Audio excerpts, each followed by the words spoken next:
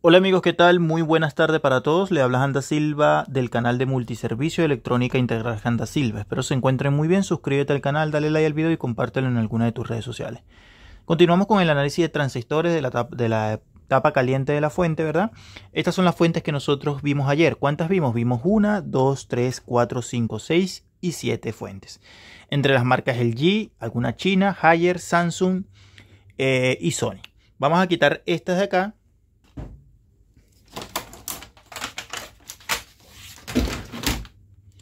Y por aquí he traído hoy una fuente de la marca Kyoto, una fuente de la marca Samsung, otra fuente, no sé si es de la marca TCL, esta que está acá, y otra Samsung, ¿verdad?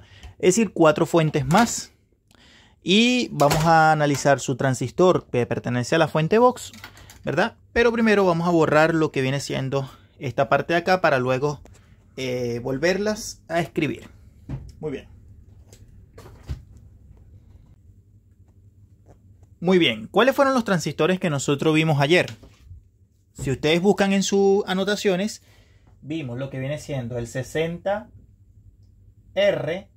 360 PS, vimos el K15,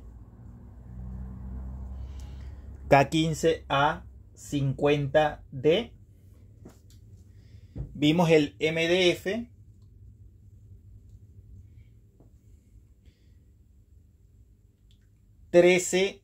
N50 y vimos uno que se conoce como GR 23 0PG. Todos estos dijimos que pertenecen al circuito VOS o también llamado PFC. Entonces vamos a agarrar la primera fuente de hoy, del día de hoy, esta que está acá, y nos ubicamos rápido con su estructura del PFC. Aquí tenemos la bobina del PFC, que después voy a dejar eh, la estructura básica de la fuente PFC o, o la fuente VOS. Y aquí nos vamos con el transistor que controla esa parte. ¿Qué dice ahí? Vamos a buscar que dice, dice K10A60W. K10A60W. ¿Verdad? Aquí lo tenemos, otro que controla la parte del BOS, es decir, la parte de conmutación del BOS. Este transistor o estos transistores son los que se encargan de elevar el voltaje, es decir, que se dispare el voltaje a lo que viene siendo 380, B a 400. Muy bien, agarramos otra, mira aquí tengo una Samsung, me paro rápidamente, ubico que tiene, aquí tiene la bobina principal, el diodo de dirección y su transistor conmutador. En este caso me está hablando de 13N 60M2. 13N 13N60M 13N60M2. Tenemos dos matrículas más para el circuito voz. Por ende ya tenemos esta, ya tenemos esta. Mira, aquí tengo la otra. Bobina de PFC, de hecho ahí dice PFC, ahí está, y tengo el diodo y tengo, tengo el diodo y tengo el transistor. Ese transistor, vamos a ver si lo puedo ver bien desde acá, me parece que no lo veo bien.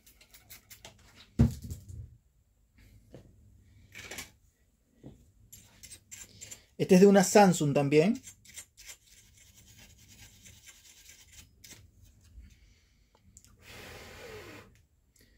Estos son análisis minuciosos que se hacen. Vamos a dejar esta de última mientras se seca un poco. Y vamos con la... Con la Kyoto de 65 pulgadas. Eh, puente rectificador. Tengo el transistor conmutador principal. Estos no, estos pertenecen al circuito forward. Aquí tengo el de la PFC. Y el diodo no viene por arriba, sino que viene por abajo. Tipo SMD. La matrícula de este es CS12N60. CS CS12N60. ¿Algún otro número? F. Una letra. Ahí está. Tenemos tres CS12N60F. Todos estos también controla voz. Me queda una fuente por el día de hoy. Vamos a ver si la logro ver un poco.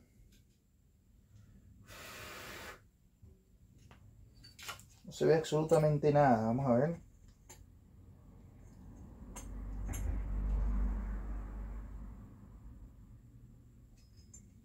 Voy a tratar de pegarle un poquito de luz. Mira, la de Samsung, esta que está acá, es 11. 11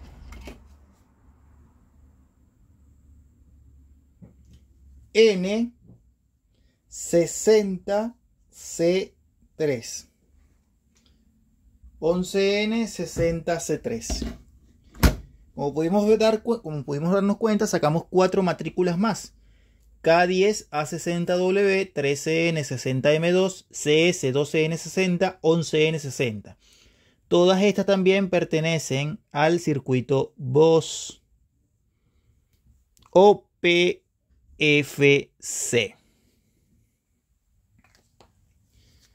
Todas estas son matrículas del circuito BOS o PFC. Anótalas. Ayer vimos cuatro, hoy volvimos a ver cuatro más. Tenemos 1, 2, 3, 4, 5, 6, 7 y 8. Todas estas matrículas pertenecen al circuito PFC, es decir, sacamos 11 fuentes conmutadas desde ayer a hoy.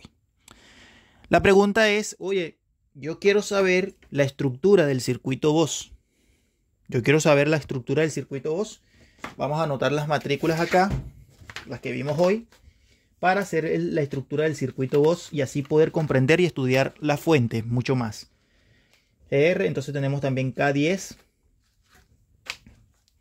K10, A60, W, 13N, 60M2, CS12,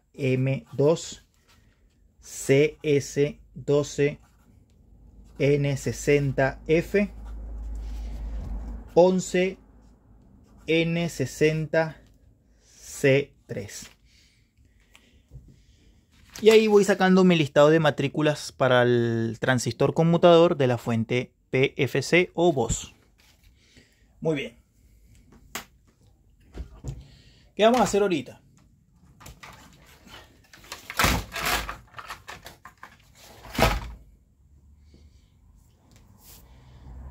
Vamos a borrar todo esto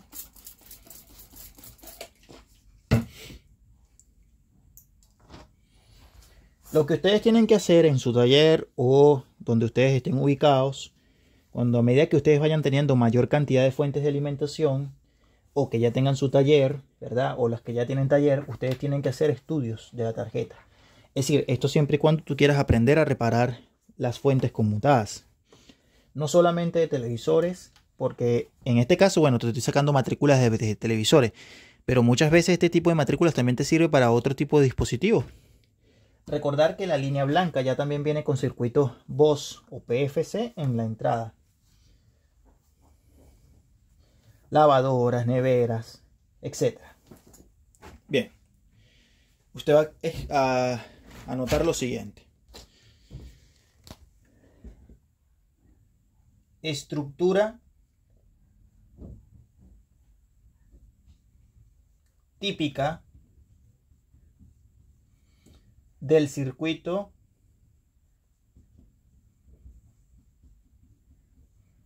voz Estructura típica del circuito voz entre paréntesis PFC HOC, zona HOC. Porque como saben, también hay circuitos o estructuras típicas de circuito voz pero para la salida de la fuente generalmente se suele utilizar para la, etapa del backlight. Pero hablamos de las fuentes conmutadas en la etapa primaria. Por eso puse ahí estructura típica del circuito voz PFC HOG. Bien. Bueno, ¿Cómo cuenta esto? Esto va a contar primeramente con un puente rectificador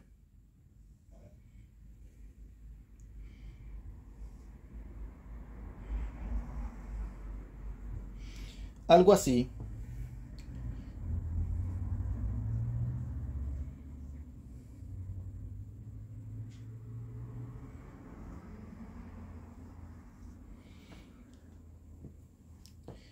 Este es el puente, el BD,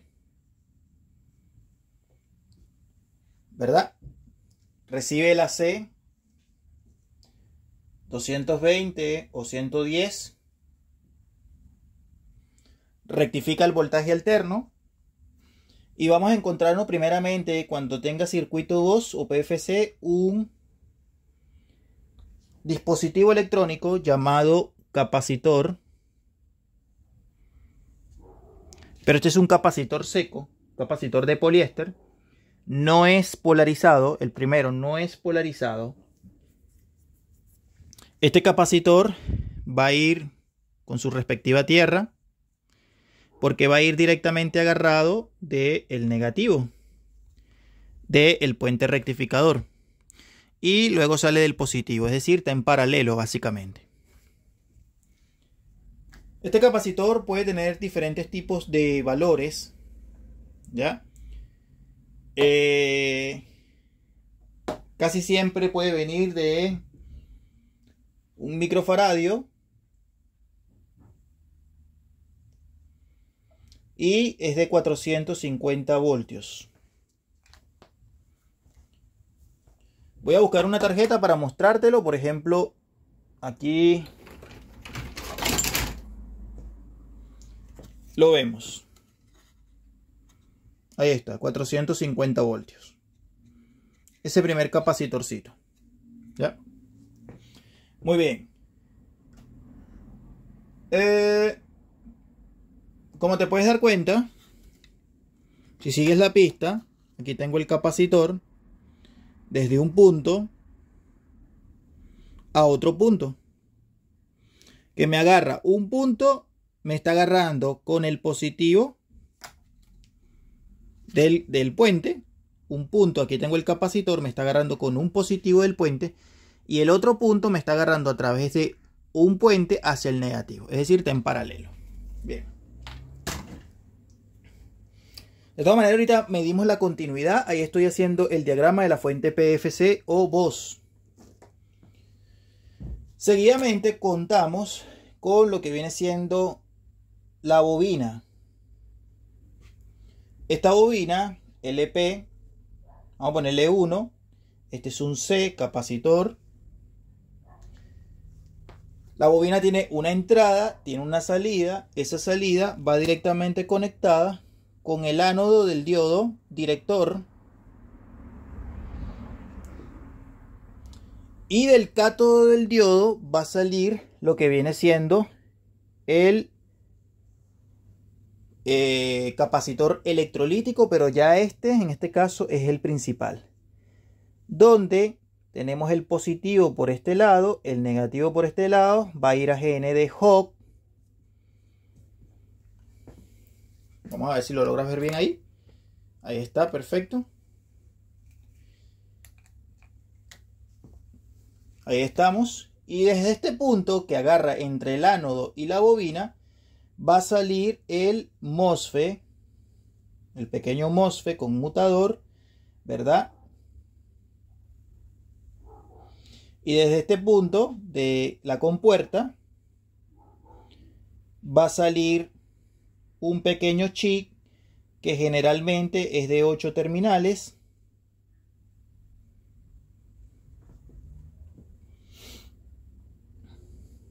Ahí lo tenemos que este es el oscilador.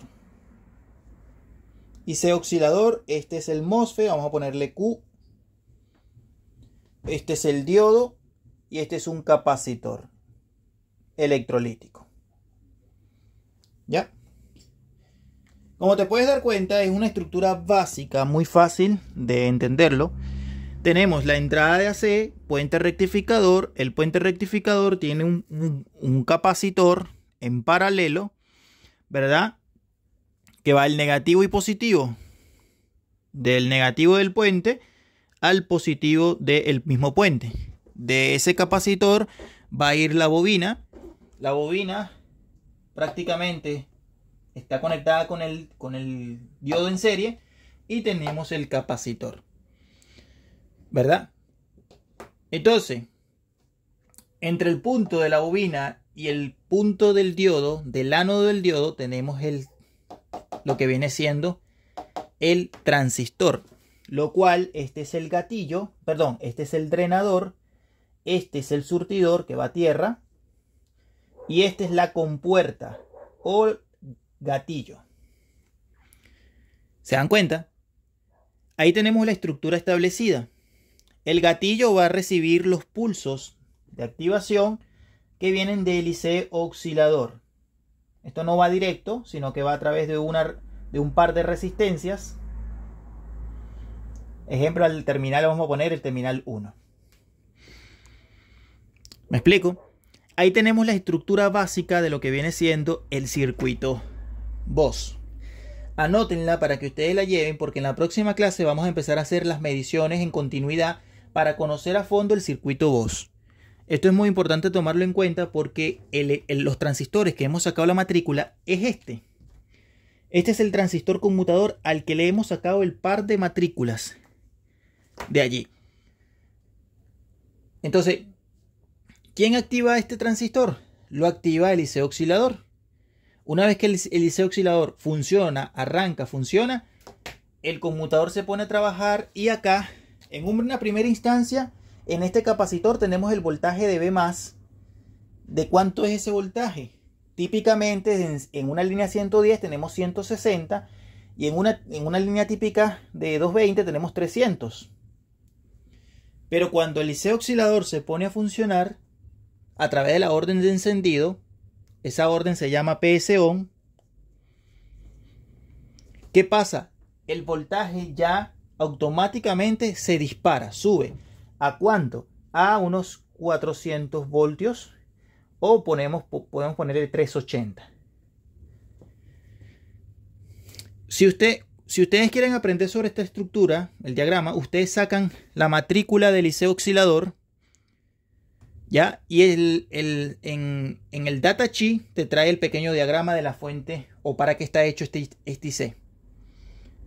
Y te van a mostrar esta, esta estructura. Muy fácil y muy sencillo.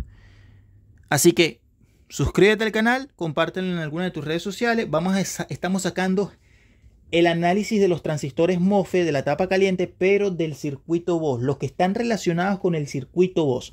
No estoy hablando de los transistores relacionados al circuito forward, ni mucho menos al circuito flyback. Suscríbete al canal, compártelo en alguna de tus redes sociales. Muchas gracias por el apoyo. Bendiciones.